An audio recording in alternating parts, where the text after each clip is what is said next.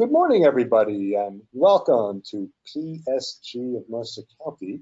Uh, Professional Service Group of Mercer County is here for you, anybody that is in any kind of career transition. And in addition to saying good morning, we say happy Aloha Friday. And uh, normally I do wear my Hawaiian shirt. Today it's a little nippy outside, first full day of fall. I'm wearing my um, Aloha hoodie. So I actually found one, I bought one, so uh, I do have lots of Aloha shirts, and this one is my hoodie for the cool weather. So that's what I'm wearing, really long sleeves. And so uh, also today is National Great American Pot Pie Day. So happy National Great American Pot Pie Day. So uh, it celebrates that uh, toasty meal, typically includes a kind of a flaky crust and a, and a flaky bottom crust usually filled with some sort of meat or vegetable, like a chicken pot pie or vegetable pot pie. So maybe being a little bit cool day, you may want a pot pie for lunch or dinner. Warm yourself up. So we get to celebrate uh, National Great American Pot Pie Day today. The Professional Service Group of Mercer County is a group that is here for you. We are here to provide you with any resources, information, a little bit of guidance, all to help you be more efficient and more effective in your own job search. We do have lots of resources for you. We hope that you can take advantage of any or all of them. Uh, among them, uh, we do have our LinkedIn group. It is called PSG of Mercer County. So go check the uh, LinkedIn group. Uh, and if you are not yet a member, join. Press the join button. Uh, now, if you join uh, right away, what we will do is put your request to join in pending status. And about once or twice a week, we do check for people who are joining. And the reason why we just want to approve people who are joining, we want to make sure that they've either been to one of our in-person meetings or joined us virtually. We only want people who've attended PSG of Mercer County in our group. And the reason why is people who come to our sessions, whether virtually or in person, they kind of understand the importance of job search, staying in touch with people. We're trying just to keep the name collectors and the list collectors out, people that are just joining the group for their own benefit. So that's why we just kind of put you in pending status. We have over 1,700 members in our group. They are all people that at one time or another, uh, ever since we started the group, have been to one of our meetings, uh, whether in person or over the past few years uh, virtually as well. And uh, once you join the group, uh, participate. Feel free to participate. Um, if you uh, see a, a, posting someone else wrote, you have a nice comment, you might just want to put a comment there even something as simple as thanks for sharing. Um, or if you have some interesting information to share with the other job seekers, do so. You might have gotten an email last week about a terrific position that just doesn't apply to you. You might want to copy the content out of that email, paste it for others to see.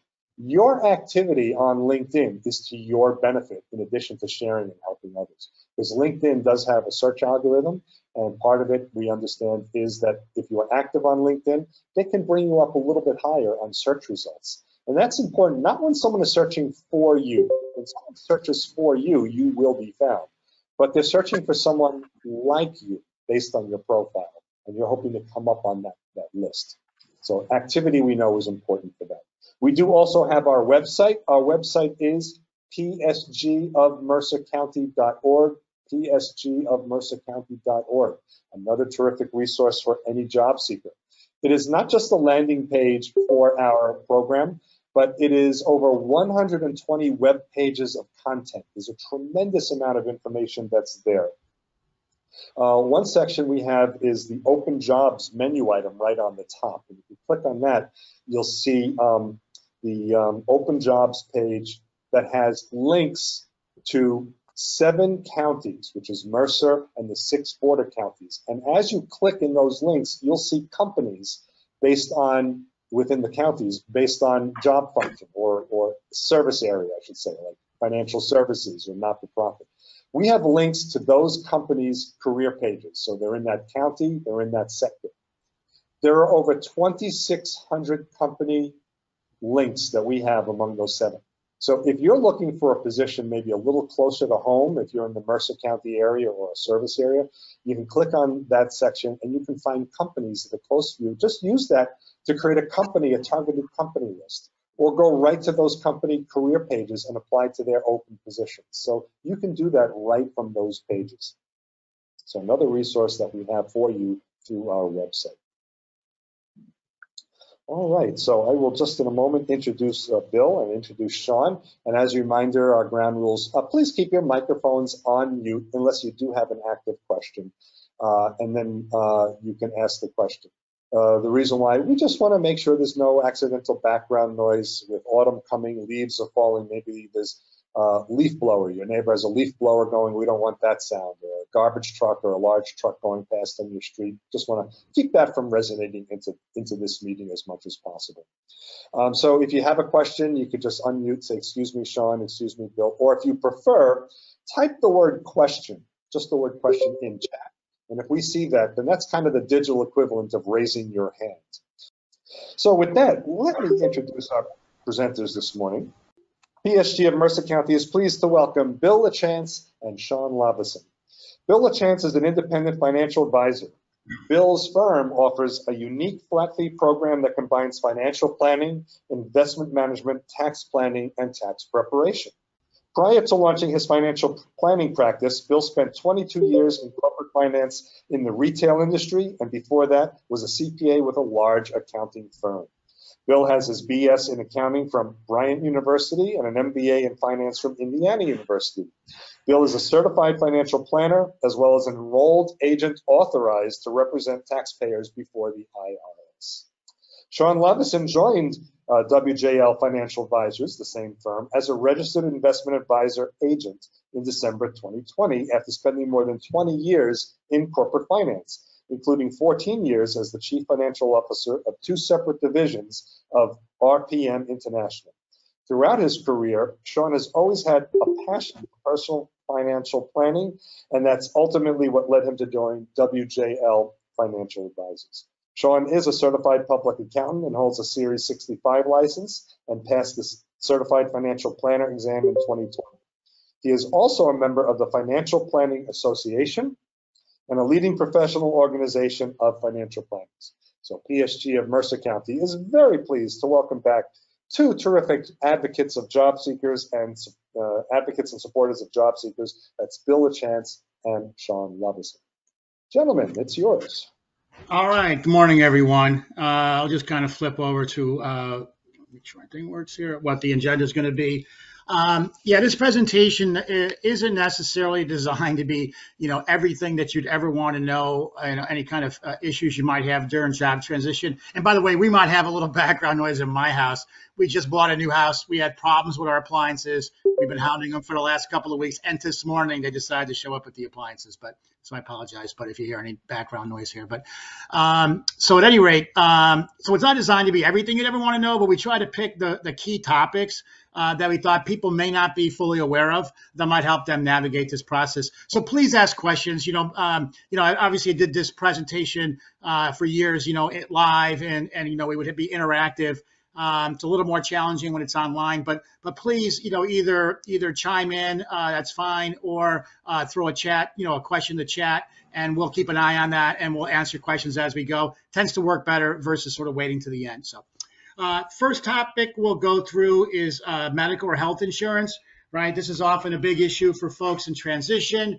Essentially, you've got two options, right? Unless you're covered by you know, a spouse or significant other that has a group health insurance through their employer, you pretty much have two choices, right? One is to go to Cobra, and two is to go onto the exchange. People tend to automatically think to go to Cobra without really, uh, you know, investigating what the possibilities are on their exchange. Uh, and it, and it may that may Cape Cobra may be the right call, uh, but oftentimes um, uh, the exchange may be a better option.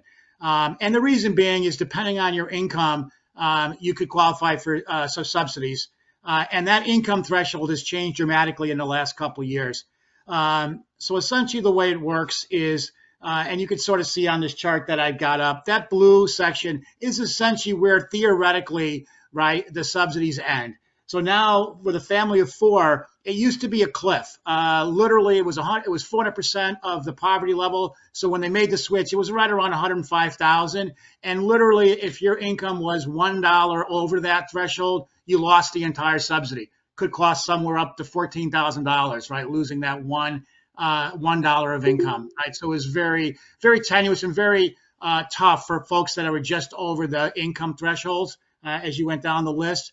So when uh, coronavirus hit a couple years ago, they changed it so that that cliff went away and that it was more of a sliding scale. It's essentially based on it's saying that you can afford eight and a half percent of your adjusted gross income. And so the difference between eight and a half percent of your adjusted gross income and the cost of your plan, okay, you'll get a subsidy to make up the difference essentially. Um, and obviously, if you had a very expensive plan, if you had uh, in its age, you know, these plans are uh, priced by age.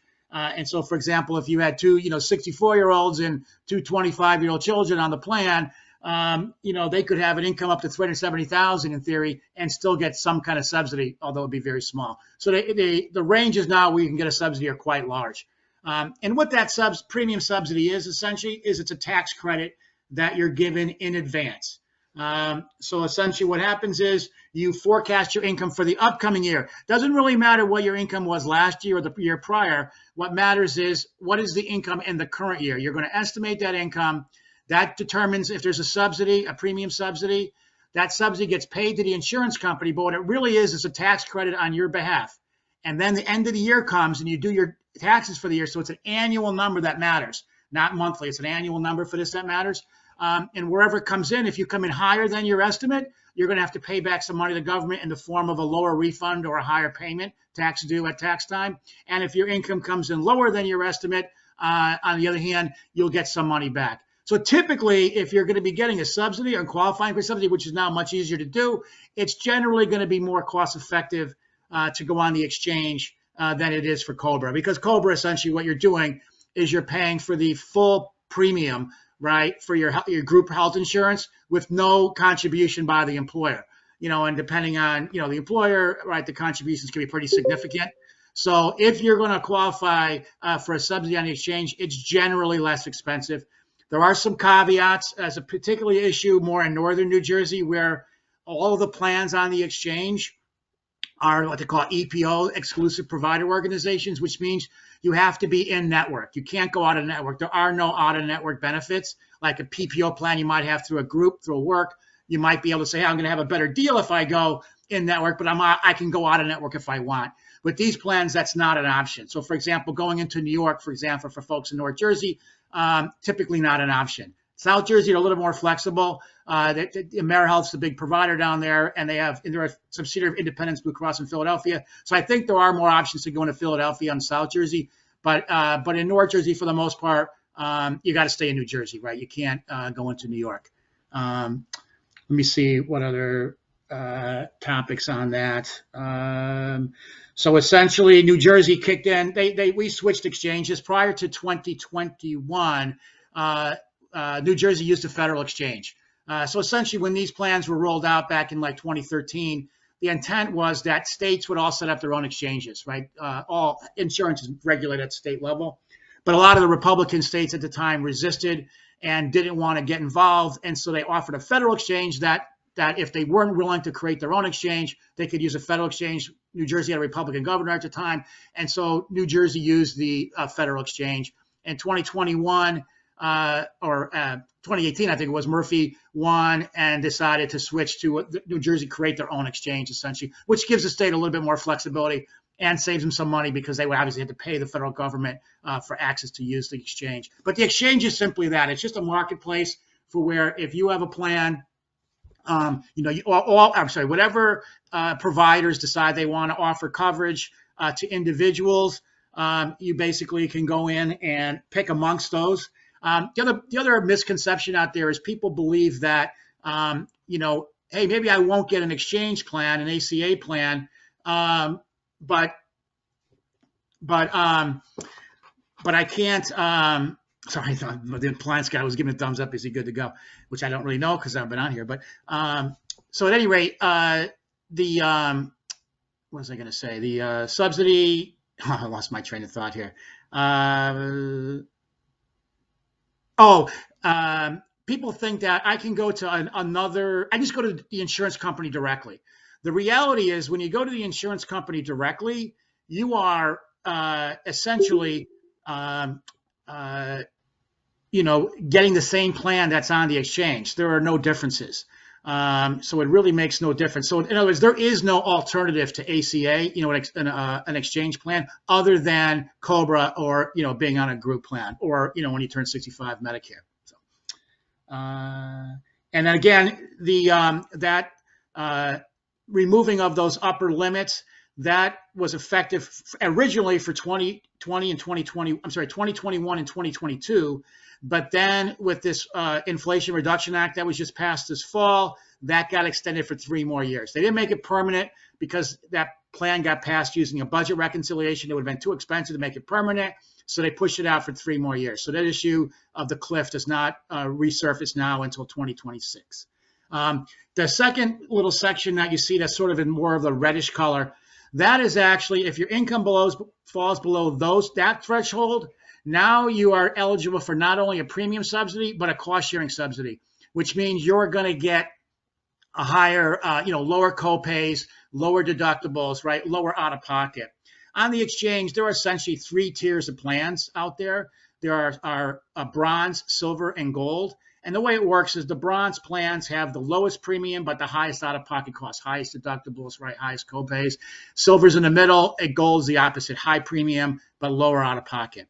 For the insurance companies, they're relatively indifferent, right? Across a large number of people, uh, it's just a question of whether you pay up front or you pay on the back end. And it should be, you know, actually equivalent for the insurance companies, but it could make a difference for uh, an individual. Uh, the one caveat, though, is that if you're going to have your income low enough to qualify for uh, these cost sharing subsidies, um, it's important that you you only get those on a silver plan, the middle tier. Um, so if you're going to be, you know, getting a cost sharing subsidy, you're almost certainly going to want to sign up for a silver plan. And then for that green bar section, that if your income falls below those thresholds, that is no, you're no longer on the exchange, and now you're going to be shifting to what's called New Jersey Family Care, which is Medicaid, uh, which is free. Uh, the, ch- the challenge is the, the networks are much more restrictive. Medicaid reimbursements are very low. A lot of doctors don't want to mess with it, particularly in the more affluent areas. Um, so I've had clients do the opposite. They, they've brought their income up intentionally using Roth conversion, some other things we'll talk about later, to essentially get them out of the uh, Medicaid threshold and into the uh, sort of bottom tier of uh, uh the ACA plans, which is still going to be a significant. Again, I've got clients, single clients. Uh, if your income is eighteen thousand dollars a year because you know you're living off of unemployment or whatever it might be, um, you're talking about zero premium you know, $250 deductible, uh, $750 out of pocket max for the year. So pretty favorable terms if you qualify for the maximum uh, cost sharing subsidies. Okay. Uh, any questions on any of that?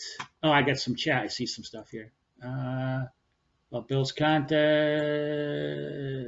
It's not. It's no questions for you. For you. Oh, no questions yet. Okay. All right. And let me see if there's any other topics that I missed here on this. Uh, like I talked about, the cliff got taken out. Uh, they also uh, reduced uh, the credits. I'm sorry, the credits for the those that were already below the 400,000 were increased as well with these changes. Okay. Uh, a couple other things related to medical. Um, the IRS does allow once in your lifetime to transfer money from your IRA to your HSA. Uh, for those who are not familiar, right, health savings account, which is different than a flexible spending account right? So there's really essentially two accounts where you're allowed to put sort of tax deferred money towards medical expenses. One is a flexible spending account, uh, which are offered through employers, part of a cafeteria plan.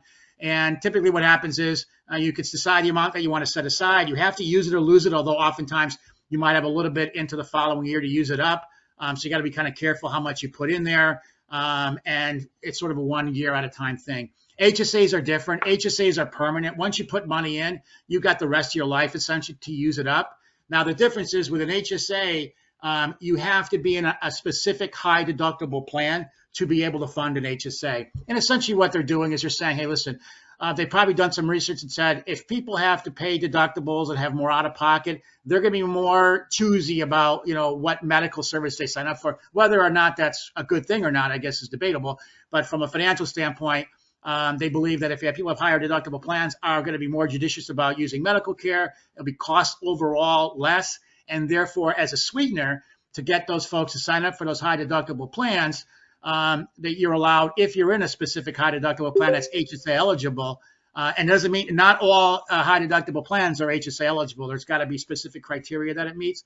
Um, but if you are, and it's usually in the name of the plan, right, HSA somewhere, um, then you can fund an HSA plan, which is really like an IRA for uh, health costs. Essentially, you put money in, it's pre-tax. So if you're if you're getting through an HSA through work, you're putting pre-tax money just like you would into your 401k. If you can get your own HSA, which you can, like if you had a plan on the exchange, you can go ahead and sign up for an HSA, uh, start to fund it up to these limits that you see on the screen here, and um, you get a tax deduction for it. So it's pre-tax going in, but unlike an IRA or 401k, it's also not taxed when it comes out. Only uh, investment vehicle out there that's really not tax going in, not tax going out. It's really the best investment from a tax standpoint out there. Um, and so really, I encourage my clients, you know, uh, even the one, you know, to, to, to, basically max out their HSAs. If, if an HSA plan even makes sense, and that's that's debatable. It may not make sense the, the plan that's offered, but if it does, uh, you certainly want to max it out even before you max out your 401ks and your IRAs, because unlike those 401ks and IRAs, you know, you won't get tax coming out, and you basically have the rest of your life uh, to take the money out. You can invest it in the meantime, buy mutual funds, right, if you want or whatever, uh, and just invest it like you would an IRA, and then use it down the road essentially. Um, and you can you, you can reimburse yourself for your Medicare expenses. You cannot contribute to an HSA when you're in Medicare. Medicare is not an HSA eligible plan, but you can draw from the HSA to reimburse yourself for your Medicare premiums, any out-of-pocket medical expenses. So HSA is a really good deal. So what the IRS does allow is once in your lifetime, you can move money from an IRA to an HSA. Now, I'm money in the IRA is pre-tax, so you can't take a tax deduction for it. You never pay tax on it, but you can move it over and then use it and take the money out and not pay tax on it. Whereas had you left it in the IRA and pulled the money out to pay for your medical expenses, you would have had to pay tax and potentially a penalty uh, if you're under 59 and a half. Okay. Uh, withdrawals from a 401k and IRA are not subject to the 10% penalty if you're used for medical expenses in excess of 7.5% of your modified adjusted gross income. Uh, so essentially, if you're able to uh, deduct, you know, medical expenses on your uh, Schedule A, if you would be eligible, um, then you can use that. You know, you could basically take money out of your IRA. So basically, anyone who has significant medical expenses are able to use their HSA uh, to pay for those medical expenses. Okay, and from withdrawals from an IRA but not a 401k can be used to pay the premiums. This is different than the out of pocket and from the line item above, but pay your medical premiums uh, not have to pay the 10% penalty if you've been collecting unemployment for at least 12 consecutive weeks. So the idea here is that for some folks that are on unemployment and in tough, you know, maybe a tougher financial position, we're not going to penalize you if you need to take your money to pay your uh, health insurance premiums. Okay.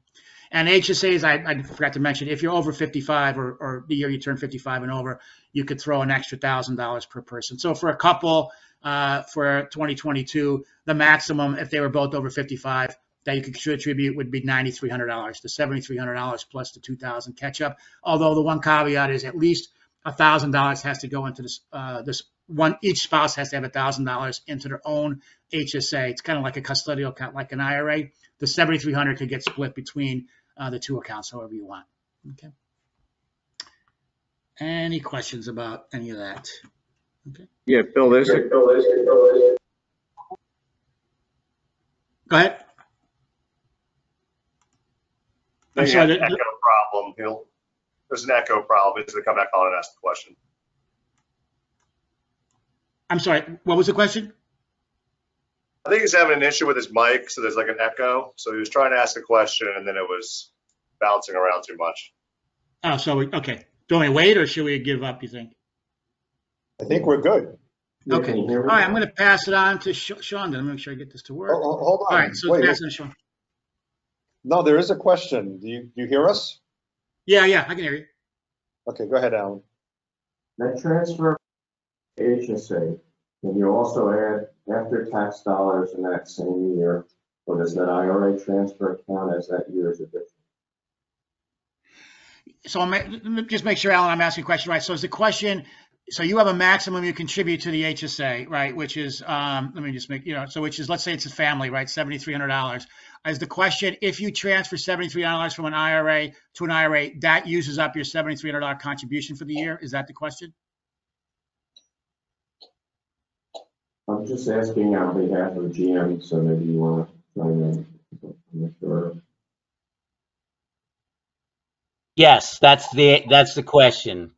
Yeah, that's correct. That is, that's it. So basically, your seventy-three hundred dollar contribution or thirty-six fifty if you were uh, single, you're using that up for that year if you move it over from an IRA. But you can you. only do that once, one time in your lifetime. So one year, essentially, you can make your money. Now, if you have the money in an aft, in a savings account or somewhere that you could fund it and take a deduction, you'd be better off. But if you don't have that luxury, um, and your only option is to move money from an IRA, that's, I did that actually my, my first year out, uh, cause I was short on cash, uh, when I lost my job. Um, and so, uh, basically, um, yeah, but that, that you're using up that allowance for the year by doing that. Anything else? Yeah, just one comment for all of us who are asking questions. Um, Please send the questions to everyone, not just to David or not just to organizers. Um, That way Bill and Sean will also be able to see it. They're not organizers, they're not, uh, you know, leadership. So just when you send the question, send it to everyone. That way we can all see it. And also the question gets recorded in our chat as well. So just the uh, little information for all of us. But otherwise, I think that's it for the questions online. Anybody here with a question? No? Okay. Yeah, let's move on. All right, I'll pass it over to Sean. All right, I get the challenge of trying to present tax information to you while keeping you awake. Let's see if I can do it. So, you know, I'm going to go through some of the recent tax changes the last couple of years and try to highlight how this is going to impact you uh, both this year as well as what you can do if you are going through an income transition um, in the next, you know, year or two. But I'll start with the tax changes over the last couple of years, starting with the CARES Act in March of 2020. Now, I've kind of skinned this down. Obviously, these were large acts, but a lot of this stuff already expired. So I'm just going to highlight the stuff that's still applicable and, you know, might actually be applicable to your own situations.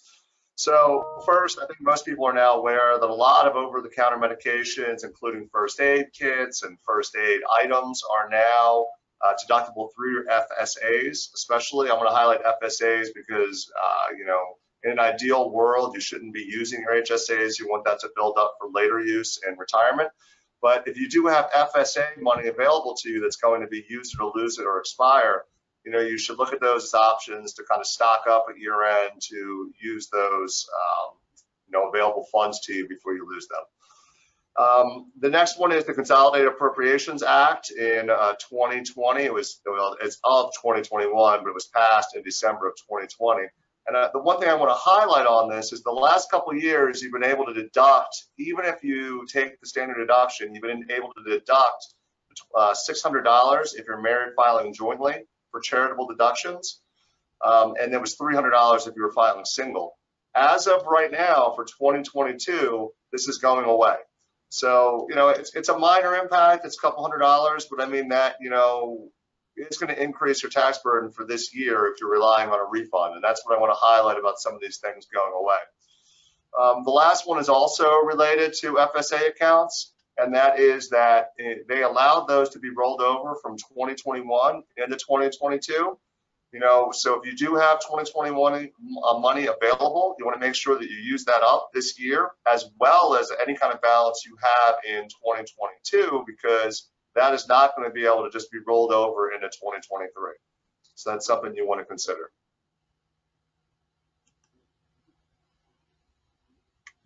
So continuing the Consolidated Appropriations Act, they made some changes to uh, college grant loan um, and deduction changes. Now, one thing that's really interesting, I haven't really talked to anybody who's had an employer provide this as a benefit, but because of people that you know are able to do the uh, the dependent care deduction and have that benefit available to them, they tried to give something to younger workers that might not have dependents yet, but do have large outstanding loans. So they allowed the employers to make tax-free payments up to $5,200 towards their employees' student debt. Uh, so, you know, if you have uh, children or no younger workers, or you yourself have loan balances out there, you know, that's something that they should inquire with their employers if they offer or ask them if they would consider doing it. Um, also along the line of college application process, they've streamlined the FAFSA application and they've reduced it from 108 questions to 36. And the terminology is slowly changing. Although, you know, it's supposed to be changed from this expected family contribution to now it's called the student aid index, which I guess is supposed to be less offensive and make people feel like they have less of a burden on themselves. But I have yet to see this actually used in real life. I still hear the expected family contribution used. So um, just might be aware that the student aid index is a, is a term that's out there. They've also eliminated the treatment of mortgage insurance premiums as qualified uh, residence interest. So that also has not been extended. So if you did itemize and you itemized your mortgage interest, you know, and if you did have the, you know, the premiums for, um, you know, the loan origination, that's also going away. So that could possibly result in a tax increase for you uh, this year. Hello. Okay, no, I don't think that was for me. Um, all right, so then now we go forward to the American Rescue Plan in March of 2021. So this is a lot of changes for, um, uh, again, people with children or dependents. And I just want to highlight this, that if you are in that situation that you claim the child care, the child tax credit or the dependent care expense, you know, expense reduction, all this stuff that they did where they, you know, expanded the amounts, I'm not going to go through each line because none of this stuff is applicable now. It's all going back to the pre-2021 amounts.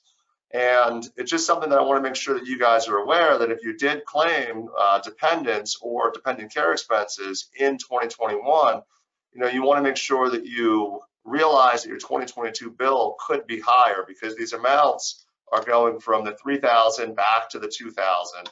Uh, the total amount of dependent care expense deductions going from the 8K that it was in 2021 back down to the 3,000.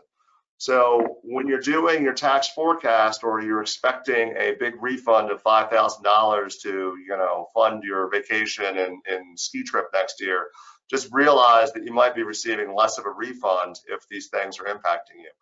Now, I think that a lot of people are still hoping that, you know, some of these will be uh, extended, but uh, all the tax stuff, the Senate is really not going to vote on anything until after November elections. So there's not going to be any update until probably mid-November on any of these. Um, and I don't know how that's going to go. I'm sure it depends on how the elections go themselves. So just keep be aware of this and how it could impact your taxes and what when you're doing your tax forecast. I, I have a question about the last slide. Uh, Okay. payment of student debt. If one was changing jobs and hitting a negotiation ceiling on salary, uh, where, you know, they wouldn't give you what you asked for, could you ask for, you know, negotiate prepayment, payment hundred of debt? Hundred percent, I think that you, it is worthwhile to ask that question. I mean, this is something that's available to them to offer as a perk. And, you know, you might find, I mean, at the end of the day, it's the same cost to the employer, whether they pay you five thousand dollars a salary or five thousand to your student loans. But at some employers, like large corporations, like, you know, I used to work for in the past, they have salary ranges for certain positions as well you know, and they you might be capping out on a certain salary range or band or whatever they call it inside the corporation you're working for, but they might be able to give you some kind of perk like this where it's student loans and it doesn't mess up their salary ranges. So I would I would definitely ask those questions because you might find that some are flexible.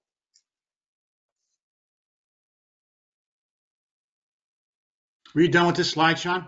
Yeah, I was done with this slide. I mean, the one I should just highlight one last thing. I'm sorry, Bill. I saw the last bullet on there. So the discharged student debt will continue to be counted, um, will continue to not be counted as income through 2025. And this was the precursor to the debt elimination that Biden just, um, you know, offered to people with the $10,000 of debt forgiveness. So if you were impacted by that and you had debt forgiven, this is the reason why it will not count as income as other debt forgiveness would be um, considered. So you do not have to worry about that being income if you qualify for that debt to be discharged. All right, so then the last time I presented this slide, we had this proposed Secure Act, and it was a lot of changes to uh, different retirement plans, including phasing out the RMDs. But, you know, when I last presented this, you know, this thing flew through the House with a, you know, bipartisan vote of 414 to 5. And it looked at the time like this was really going to move forward. But now this has gone back into, you know, the limbo political graveyard as well. you know, I think because it had so much support, I think you will see this back on the agenda, but probably not until after November.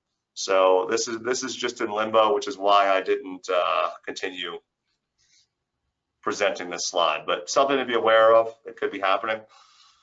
Um, now, the most recent act that's just passed is the Inflation Protection Act. It's got a lot of headlines. I'm sure that you have, heard about it.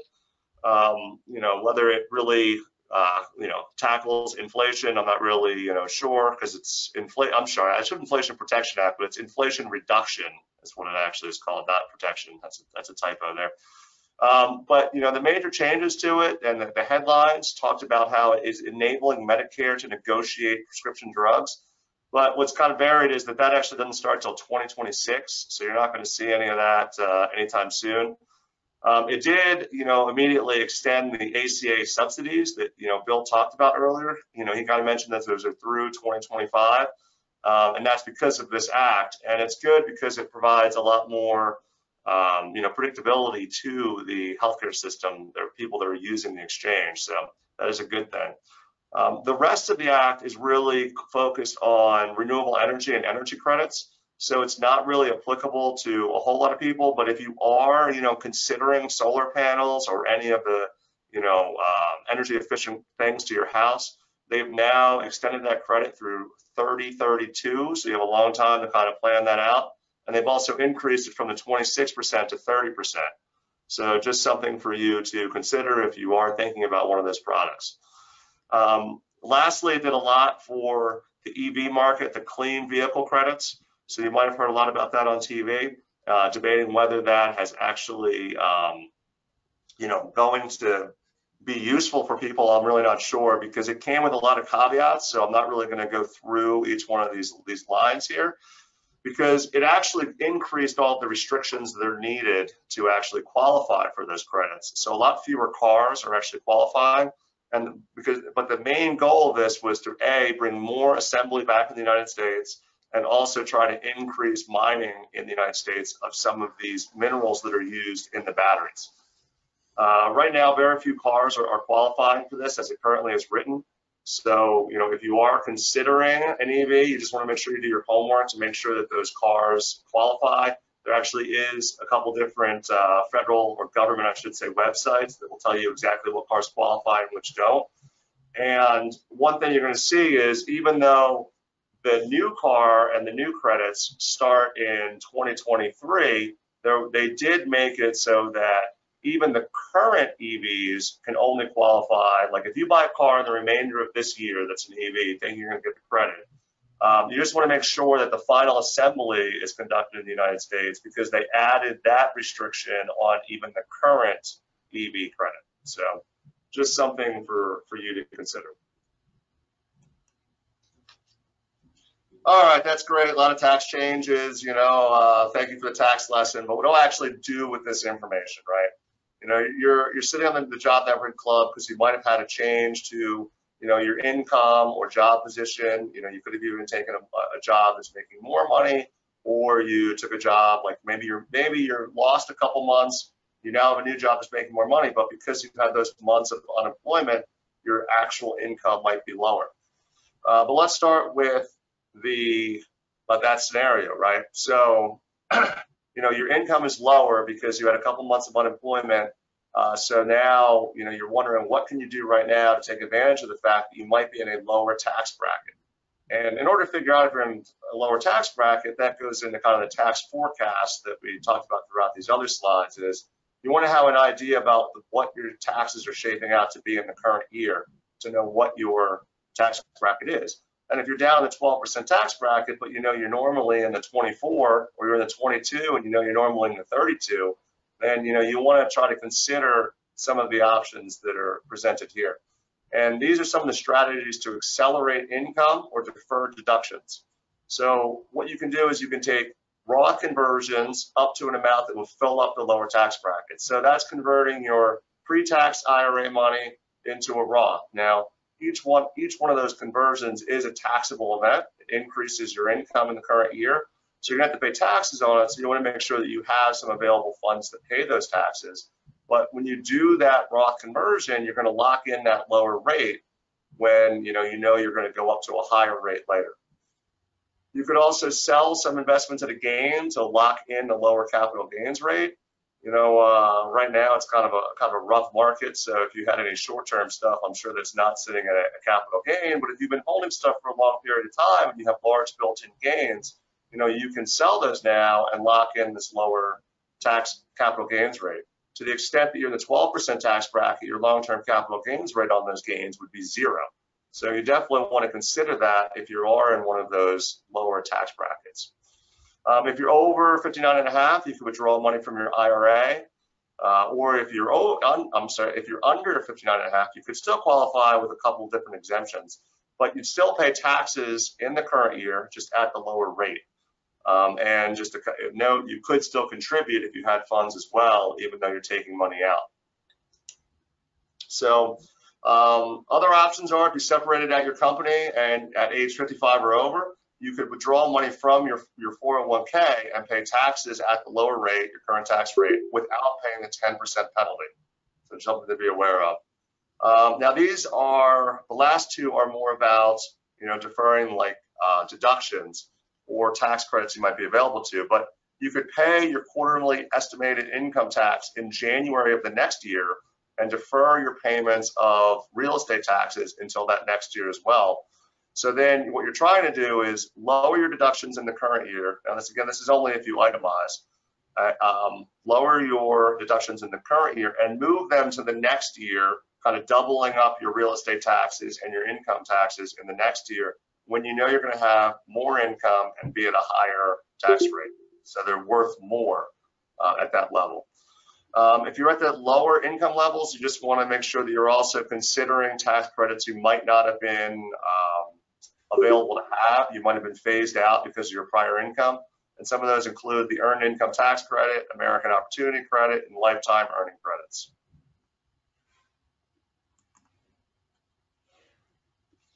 All right, so the next slide is, is the opposite, right? Like you might have changed jobs in the current year and you were paid out, um, you know, a deferred in a deferred compensation bonus, or you were paid a, um, a severance, you know, payment, and it, it's going to jump up your income in the current year.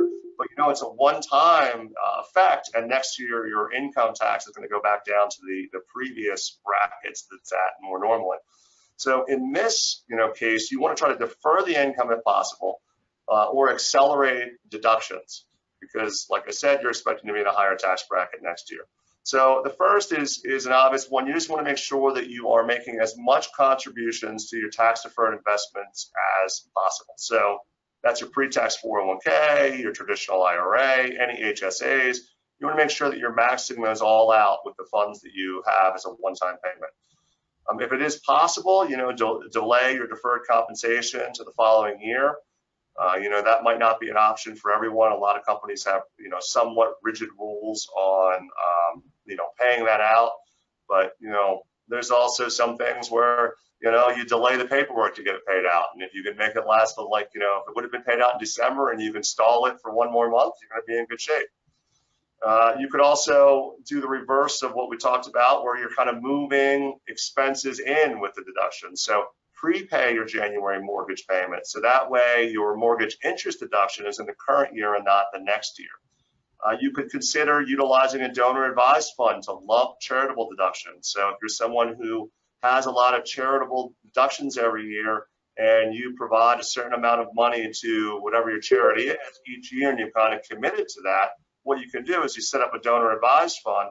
Now you have to pre-fund that. So if you're saying, okay, I'm going to do five years of $1,000, well, you could set up a donor advised fund. You do have to donate that whole $5,000 in the current year. Um, but then you can distribute it to your charities that the $1,000 each year that they have kind of become accustomed to. So it's, a, it's an option that can make you be able to pull forward those deductions. Uh, now you could pay your quarterly estimated state income taxes in December instead of January, uh, and you could do the same thing with your real estate taxes. So this is the reverse of what we talked about before. Now that is somewhat limited because your tax deduction is capped at $10,000 right now. So you know, especially in New Jersey, you probably already hit that cap anyway without pulling it forward or playing in the other games.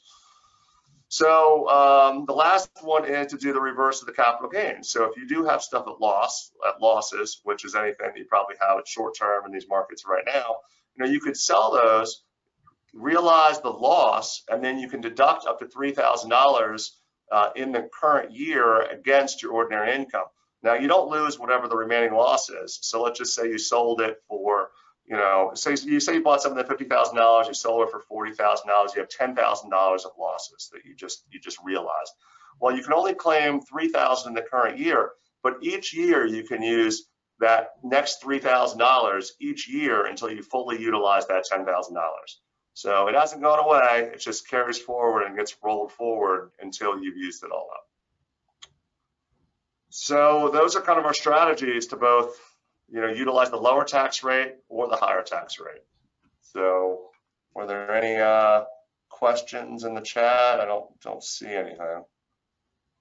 So I don't see any questions in chat, and uh, but uh, this could be a good opportunity. We're taking a little bit of a, I guess, a break in the slides. How about folks here? Any questions? Some of this is, you know, could be new to us. Some of it could be a little confusing, which is clearly why you speak to a professional like Sean or Bill. Um, but this could be your opportunity to ask a question to get a little clarity. Yeah.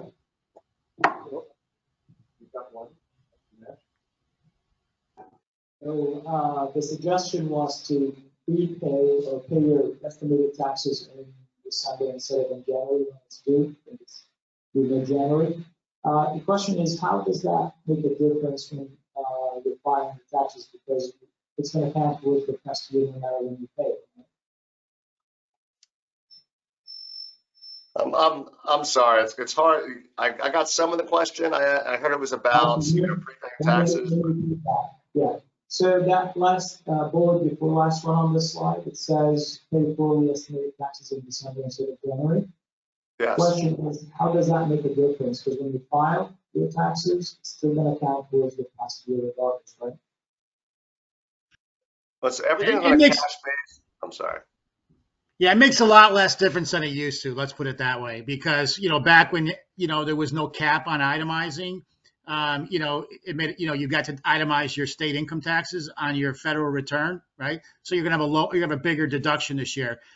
So theoretically, that's still true, right? If you take if you prepay your if you do your state income tax, uh, you know, let's say you pay estimated payments, let's say you're self-employed, and you make your estimated payment in December instead of January, you get a deduction in December on your federal tax return.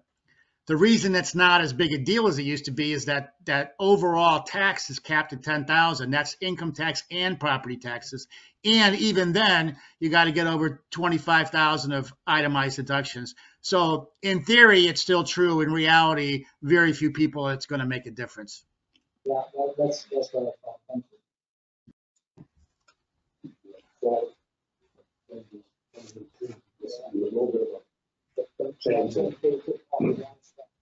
Yeah, I guess unless you can move to a, uh, a state that SALT is not as much of an issue. Um, let's see, there is, um, one question from GM, and that's in chat, so I'll just read it. If I'm on COBRA and have an HSA, can I add tax dollars to my current HSA up to my family limit, as I have no employer to do this, to do the process? I assume then there is a tax form to make a note on my after-tax contribution to my current HSA. Yeah, you can do that. Yeah, so you, you, you have to make sure that, so if you, if you're on an HS eligible plan all year, uh, and now you switch to COBRA in the middle of the year, you can make, you can make up to your annual limit contribution. Uh, and the part that wasn't pre-tax that came through the employer, you'll simply take a deduction, right, on your, um, on your tax return for that.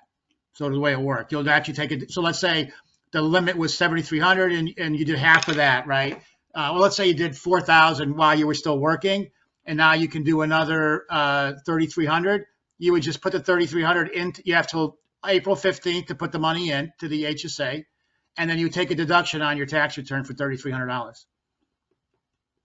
And that's how it becomes pre-tax because you, you took a deduction for it. Whereas you can't take a deduction for the 4,000 that the, that got contributed through the employer because that was pre-tax to begin with. So you can't take a deduction for that portion of it. But for the after-tax portion of it, you take a deduction on your return. So for GM, was that clear, or do you need a follow-up?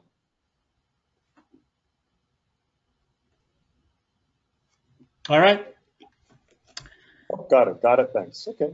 Anything else, folks, before the gentlemen move on? Guess we'll move on. So the next topic is, uh, you know, if you're if you're leaving your job, you know, what do you do with your 401k or 403b, right? Do you leave it? Um, you really have three options, right? One is to leave it in the old company. Let's say it's a 401k. Leave it in the old company 401k. Second option is to move it to the new company 401k. And third is to roll it over into an IRA. So what are the pros and cons? So the, the pros of 401ks versus IRAs are, are two that are primary that, that we see. One is you can borrow against a 401k. You cannot borrow against an IRA. So, for example, um, you're allowed uh, to borrow uh, up to 50,000 or 50% of your 401k balance, uh, and then you have to basically pay yourself back, um, right? With a with a state, you know, there's a whole formula in terms of what interest rate you need to use. Um, so, if somebody thinks they might need cash for something, um, you know, borrowing money from a 401k is one option. Um, and so if you think you're going to want that option, then what you would want to do is move money to the new 401k because the old 401k will not allow you uh, to borrow against it, right? They want to be able to pay back that loan. Typically, when you borrow money from a 401k, you're paying it back via uh, payroll deductions, right? Uh, and they're not, you can't take a payroll deduction if you're no longer employed. So you generally, in fact, it's the opposite. If you leave a 401k, you generally have a limited amount of time, 60 days or something, to pay back the 401k. Otherwise, it's going to be treated as a distribution. Um, and what's something to think about, honestly, if you're switch, deciding to switch companies. But, uh, but, but if you do think you might want to borrow against it, right, in the future, you might need the money for something. One option is to roll the money into the new 401k, and then hope, assuming the new employer allows you to take loans. Um, the second advantage of it, and Sean had talked about this a little bit earlier, you know, with I'm assuming mostly aware that with an IRA, if you take money out before you're 59 and a half, you're going to have to pay tax on it, but you're also going to have to pay a 10% penalty. Um, with a 401k, if you separate from service in the year you turn 55 or later, so let's say you you leave uh, the company in March and you you turn 55 in November, that still counts. From that year going forward, you can take money out of your out of your 401k, take a distribution, and not have to pay the 10% penalty. Still have to pay the tax because it's pre-tax, but you don't have to pay the penalty. So typically, what I advise clients who, uh, let's say they're 57 and they've left the company and they're not sure what to do with their 401k, if there's any chance at all they're going to want to use the money in the next couple years, I generally advise to leave it in the 401k. The old now this one has to be in the old 401k because if you move it to the new 401k, you haven't left service when you're 55. This exception goes away. So there you'd be leaving money in the old 401k. You can draw it if you need it. Once you get to 59 and a half, it doesn't matter anymore. Then you could always roll it over to the IRA at that point. If those two aren't going to matter to you, um, then it generally makes sense to roll over to an IRA um, because there's some other advantages for the IRA. Uh, one, you know, there's no 10% penalty for first home buyers, well, it typically doesn't uh, apply to folks, in, uh, you know, that we meet at these meetings. But the second one might, right? There's no 10% penalty for withdrawals for qualified higher education expenses. I'm actually doing this myself. Um, and so you can take money out of an IRA, and if it's for qualified higher education expenses, you don't have to pay uh, the 10% penalty. Okay. Uh, there's also, as I mentioned earlier, no penalty for withdrawal from an IRA, but not a 401k. This is so if you if you want to use this one, you got to move the money into an IRA first. Um, if you've been collecting unemployment for 12 weeks, you can use money in your 401 IRA to pay for your health insurance premiums. Okay. You have much broader investment options, uh, right, with an IRA than you do with a 401k. Now, fees wise, it depends, right, uh, what you're going to do. Uh, a lot of 401ks are pretty limited and often don't have the best investment options. And we're fans of kind of low low cost index funds. We'll talk about a little bit later. Um, and so, you know, but if you're going to move the money out of your 401k into a, a managed brokerage account where you're paying, you know, 1% fee and, you know, and, and, and higher fee funds, well, then you're probably better off leaving the money in the 401k. But if you're going to take it out where you maybe don't have the best fund options, you can move it over to Vanguard or Fidelity and get, you know, really low cost index funds uh, you know, you may be better off uh, and having more flexibility because um, you got much you know, you can pick anything, right? You can buy anything you want, not just the 15 funds that the investment advisor for the 401k had picked out for the, for the participants. Okay. And then the other advantage of the IRAs, you can do Roth conversions, you know, which is a big kind of tax planning strategy for us, not necessarily just for people in transition, job transition. Get a scenario where that we see this a lot are just folks that, well, I guess it is sort of a job transition, right? Folks that are kind of in their 60s and maybe they decided to leave the workforce uh, full time and they're either working part time or they're doing some consulting or they're retired, whatever it is. But they're not 72 yet. They're they're not 70. They're not collecting Social Security. They're not 72 where they have to draw the requirement distributions. So they're in a lower tax bracket, kind of what Sean alluded to earlier. And then there's all kinds of tax planning uh, maneuvers you can do, and Roth conversions, uh, you know, is one of those to pay the tax at the lower rate, as Sean had mentioned. And then the other option is, and it depends on the company, right? Because some guys won't allow this, but if it's allowed, you don't necessarily have to do all of one or the other. You can move, you know, uh, leave some money in the old 401k and then move some money over to the IRA, or or move some of it to the new 401k and move all the rest of it to an IRA. You know, some companies will allow you some flexibility, some companies won't. Uh, but you don't necessarily all have to do one thing with it, depending on what your, your objectives are. Okay. All righty. These are just some topics on if you're forced to take on debt, some things to think about, right? Um, if you do have to take on debt, if you're in a financial crunch, uh, you know, obviously you want to tap your lower rate source of credit before, you know, credit cards or higher rate source of credit. Things like home equity loans. If you've got a life insurance policy, uh, typically you can go to a bank even or from the insurance company and borrow against that. Uh, generally, that's certainly at a much lower rate than what you'd pay on a credit card. Um, than you know before taking on credit card debt, for example.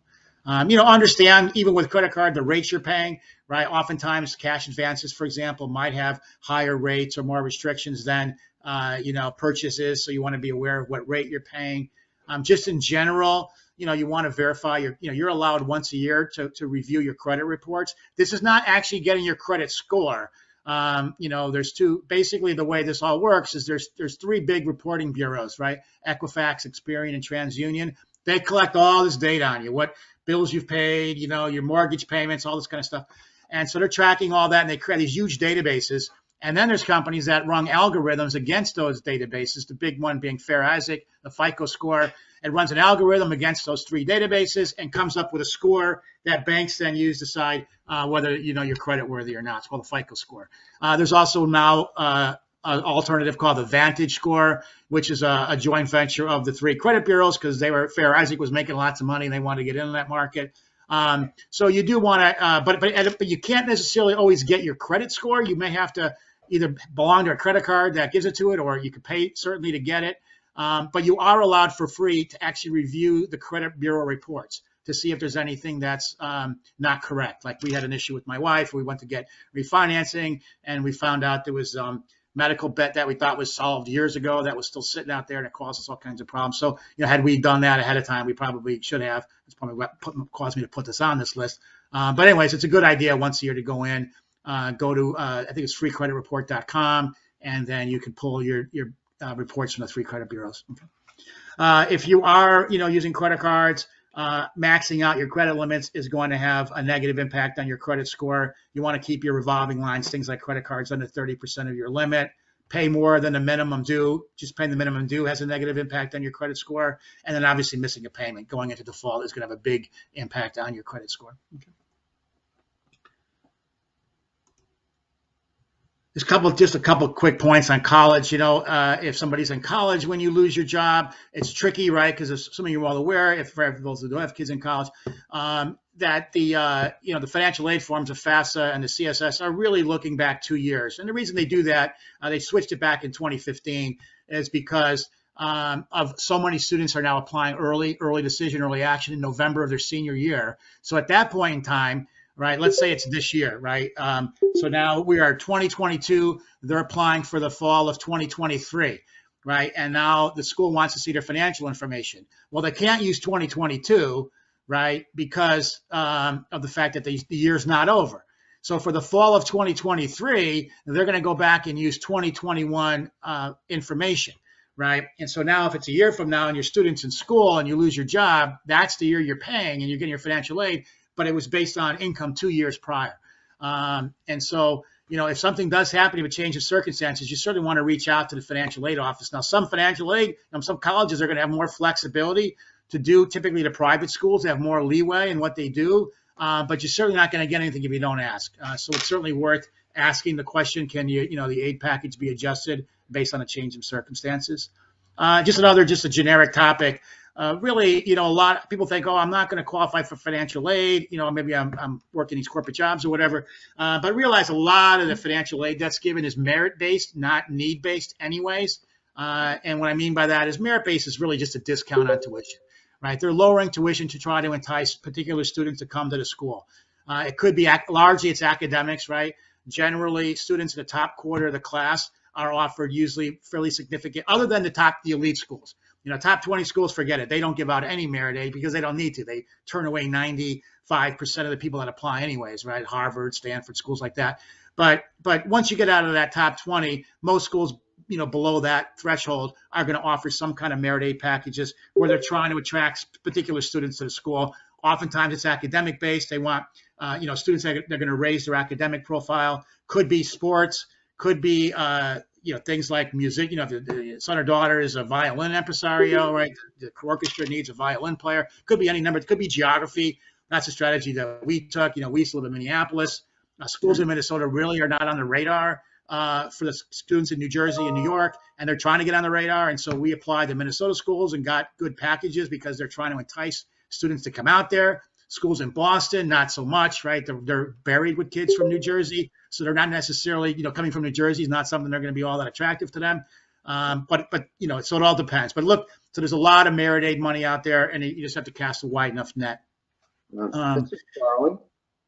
Um, from my own experience, I, I, my daughter is a niche player in the creative side, um, fashion design.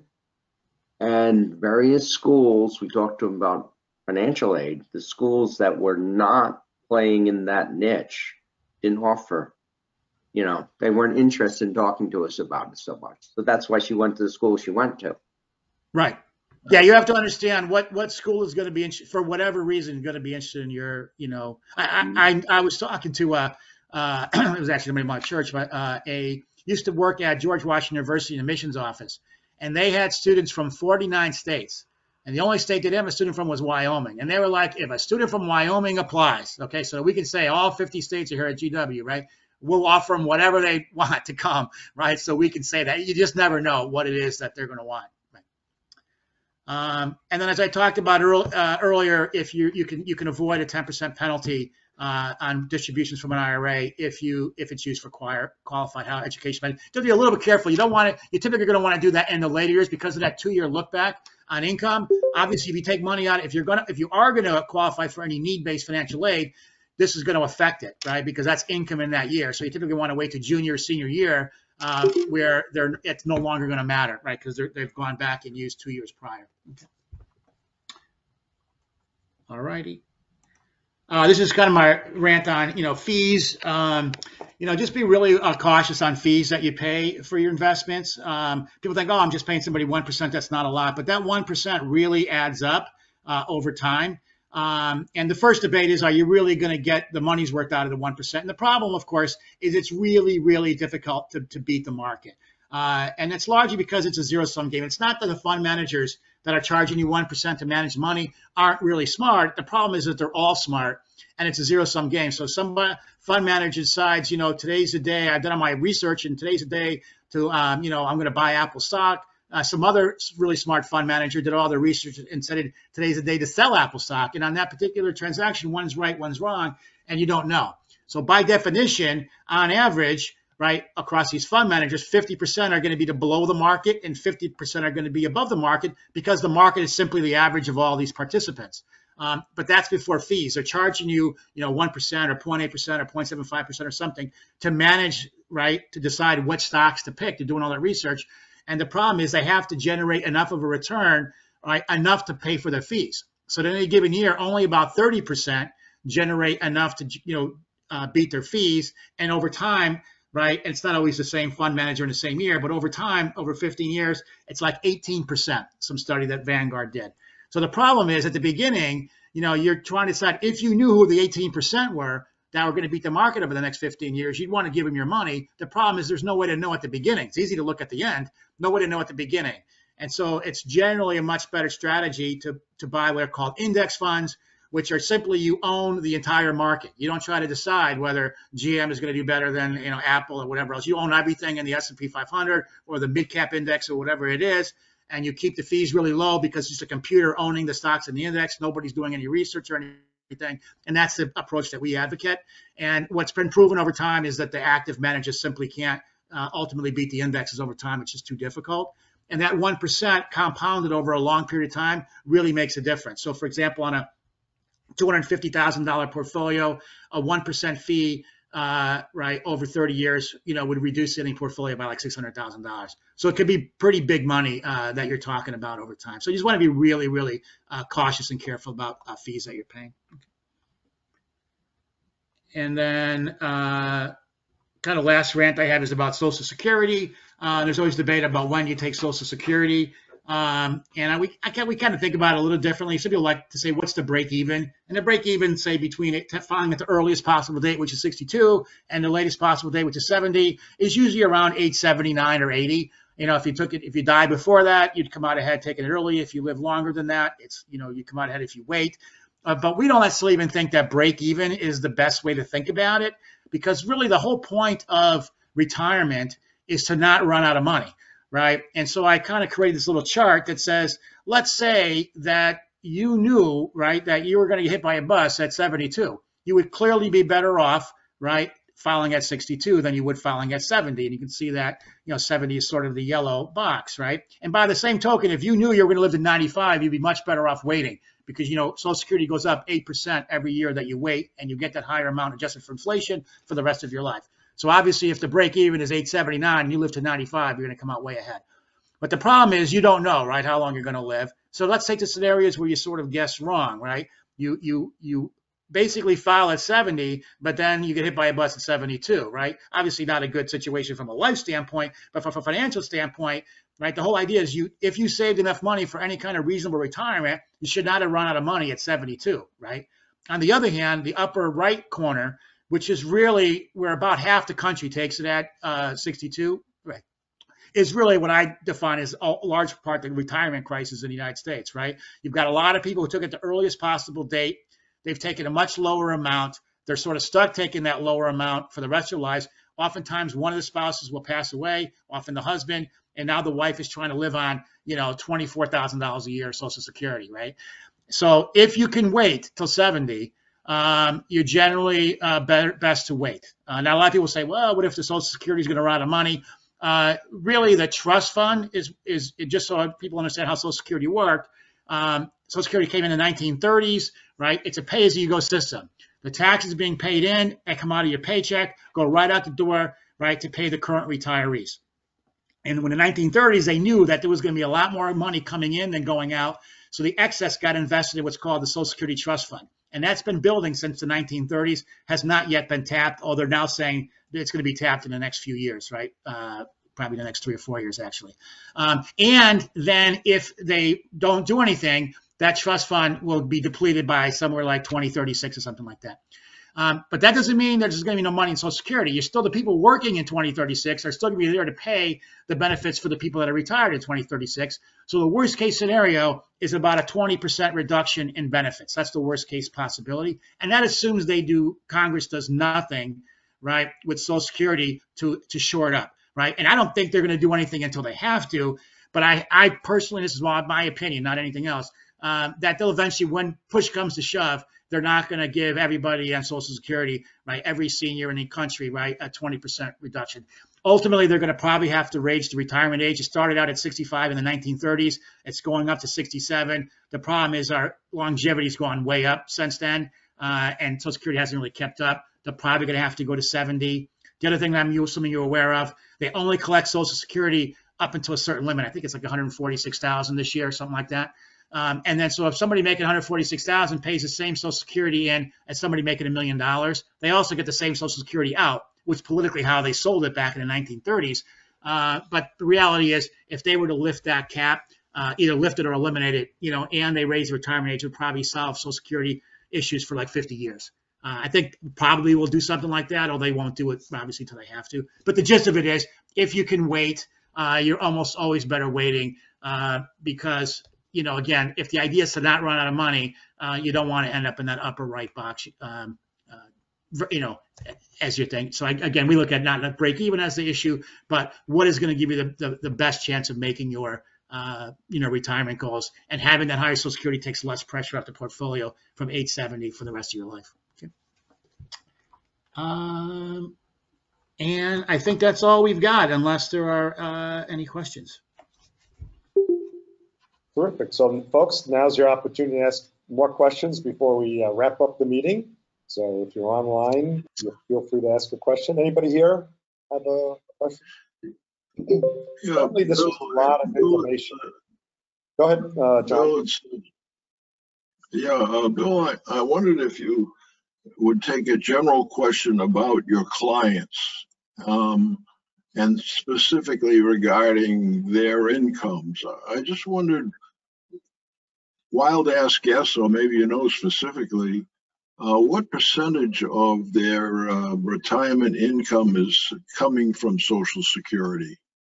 Oh, so Social Security is a big deal, in all honesty, for virtually everyone except I have, you know, I have a couple of exceptionally wealthy clients, but for the most part, I mean, you're talking about even with clients less than say four million dollars, anybody less than say four to five million dollars of assets, Social Security is going to be a big deal.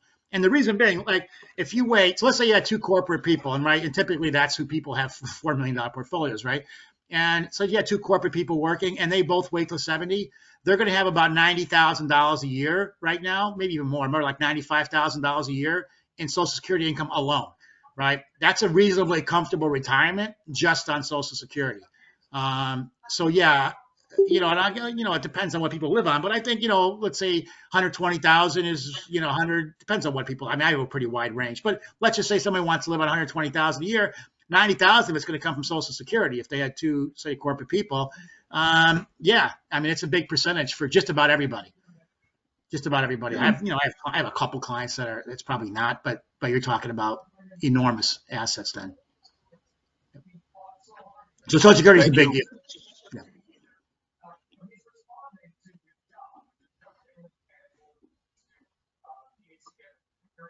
All right, anything else? There's our contact information. I also have this little side, if anybody does need help with the health insurance, I kind of have a little side business help people on Obamacare, I mean, the ACA, so they're welcome to, you know, reach out or even Medicare. There is a question coming in from the room. Hey, Bill, this is Bill Pagula. For, Uh, Can you hear me? Yep, yep. Um, With the Roth conversion, uh, I understand that it's taxable. Um, What is, is there any timing thing about when in the year you do it? Um, You have to pay estimated taxes if you do it early in the year? Yeah, you have to do it by December 31st. You used to be able to go and have what was called a recharacterization. So you got to do over. So let's say you did it like, oh, that was a bad idea, right? You could you could undo it basically before the end of the before the tax deadline. That no longer is an option. So you really have to do it by December 31st. So the clients where we're trying to hit a particular number for whatever reason, you know, because there's other variables to think about. Like in New Jersey, for example, if you could keep your New Jersey gross income, which doesn't include Social Security, under 100,000, in your married couple, you got a hundred thousand dollar exclusion, seventy five if you're single. So for some clients, that's the target. Uh, as Sean had mentioned earlier, right, capital gains are are not taxed if you're in a twelve percent bracket, but if you go just above that, your marginal rate jumps way up to twenty to like twenty seven percent because you know you got twelve percent of your income on that dollar of income, but it now causes a dollar of capital gains to get taxed at 15 that was otherwise taxed at zero. So in some cases, that's the threshold we're aiming for. In other cases, just a tax bracket threshold where you jump from say 12 to 22. But whatever it is, um, you got to make those moves by December 31st. So oftentimes, what clients will do is we'll do a tax forecast in mid-December. What were their uh, interests for the year? What were their dividends for the year? Right? What what distribution of any they take? What was their pension? Whatever it might be, and we really try to nail that down almost to the dollar, so that when they know exactly what Roth conversion that we want to hit, so we, we can get to the number as accurately as possible. But you got to do it by December 31st. But if you do it earlier in the year, you have to file an estimated tax for the amount, or can you just let it slide until you do your taxes? Well, but you could withhold. Generally, you don't want to withhold when you do a Roth conversion, right? So you could take money out of the traditional IRA, do a withholding, and put the difference into the Roth. It's generally better because if you're trying to do a Roth, you're trying to get as much money in the Roth as possible. So you're typically better paying the tax on your own. Now, if that's the case and you know you're going to do it, then and we know clients are going to do Roth conversion with a pretty good idea what income we're targeting, then we'll do estimated payments right? So in which case you do want to do it throughout the year because with estimated payments, the timing of the payment matters, right? So if you pay the right amount, but you pay it at the end of the year, you're still going to pay potentially a penalty. Whereas with withholding, the assumption is it was withheld evenly throughout the year. So if you do withholding um, in December, then it's it's basically assumed that you did that evenly throughout the year, even if you did it in December. But you generally don't want to withhold because you want to get as much money into the Roth as possible. Um, it all depends on your situation and whether you have the cash available to pay the tax or not so in another account. All right, we had a thumbs up here, so that was uh, a thorough answer. There is also a question online from Charlotte Ann, and the question is, how is, I'm assuming Charlotte Ann, SS is Social Security. So how is Social Security calculated?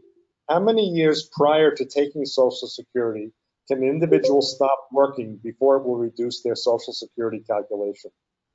Yeah, well, and, and GM answered, yeah, it's 35 years. So it, it takes a lot to move the Social Security number because it's a 35 year average and it's and it is uh, uh, inflation adjusted. Now, if you don't have 35 years of work history, you know that extra year makes a difference because you now you've took something that was at zero and made it a number, right? Something, right? And so even if it's part time, it's worth it. If you've got 35 years of a re- reasonable work history, then an extra year of working or not working really isn't going to make much of a difference. And I will also add too that not every year is exactly equal. There's an index factor that it puts on there. So like the earlier years actually count as more. So there's later years if you retire early, like five years early, let's say, those are all, all at a lower index factor than the beginning years. So Yeah, because it's inflation adjusted, right? Yeah, so that like the, a, a 40,000 20 years ago is not the same as 40,000 today. Yeah, exactly. Okay, terrific, thank you. And I did repost uh, the information on the current slide, so the contact information is in the chat. So later we will be posting the chat on our group's website. And so if you're if you didn't get a good screenshot now or you didn't download the chat, you'll be able to download it a little bit later. Any other questions, folks, before we uh, formally wrap up the meeting and uh, hang around for open networking? Going once, going twice. Where's my gavel? We need more gavels. Okay, very good. Well, uh, Sean, Bill, thank you so much uh, for participating with our group as you have for many years. We're so appreciative of that, certainly. And you know, one thing I absolutely appreciate is this was not a wealth management financial planning seminar, and that's exactly what we did not want. We did not want you know wealth management. We really wanted to become clear on you know different strategies that may be helpful to us. And while there was a lot of information here, maybe some of it was a little uh, new to you or, or confusing. Um, feel free to reach out to Bill or to Sean, and uh, if you have a question too, and I'm sure they'll be able to uh, answer those right away. So thanks so much for helping us uh, from financial planning from a job seeking concern, not just you know which funds we should buy. So thank you for that. Uh, and uh, for what's coming up um, next week, we will be right back here. We will facilitate in person at the Princeton Public Library, and Alex Freund will be our presenter, career coach Alex Freund, and he's going to be talking about, sorry, but we found someone who's a better fit. Boy, do we help ha- hate that answer when we are uh, interviewing or have have interviewed.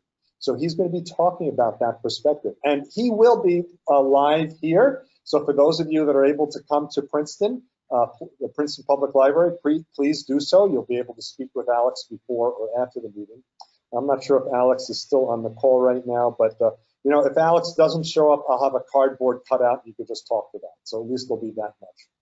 Um, and you know, we also have other coaches that are here as well. So when your meeting wraps up here, you could speak to one of our other coaches that uh, visit us as well, if that'll be helpful to you. So next week will be Alex Freund. That's September 30th. Sorry, but we found someone who's a better fit. The following week, Marty Gilbert will be presenting. I'm so glad Marty will be back. He'll be talking about 30 ways to get unstuck. So, so glad Marty will be here. Marty will be presenting virtually from Chicago. He is from Chicago. So uh, glad that we're able to keep uh, these virtual connections as well. So that's what we've got coming for the next two weeks. Uh, this Tuesday, if you're interested, New Jersey job seekers will meet Tuesday evening at 7.30. I did post the connection link for that. It is a Zoom session, or it's actually a GoToMeeting session like this. Uh, it is in our uh, PSG of Mercer County LinkedIn group, so the link is there. Uh, I'm not going to read the link because it's really long and complicated. Um, if I get to the other computer later, if I can, I'll put it in chat. But just check our LinkedIn group. I posted it late yesterday, so I'm sure it's on a third, fourth, or fifth item down. Just copy that link. Uh, so they meet on the second and fourth Tuesdays of the month at 7.30 in the evening. So this Tuesday will be the fourth. Also visit our other uh, cousin organizations.